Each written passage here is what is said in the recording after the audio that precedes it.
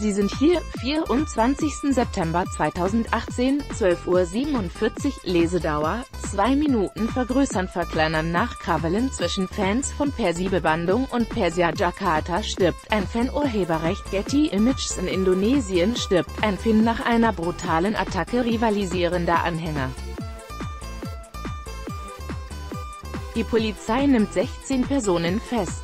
Ein indonesischer Fußballfan ist am Sonntag von Anhängern eines rivalisierenden Clubs mit Eisenstangen und Holzbrettern zu Tode geprügelt worden. Wie die Polizei mitteilte, wurden insgesamt 16 Personen verhaftet.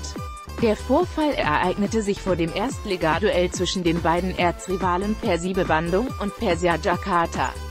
Punkt. Der 23 Jahre alte Fan von Persia Jakarta starb, nachdem er von mehreren Bandung-Anhängern außerhalb des Stadions in Bandung attackiert worden war.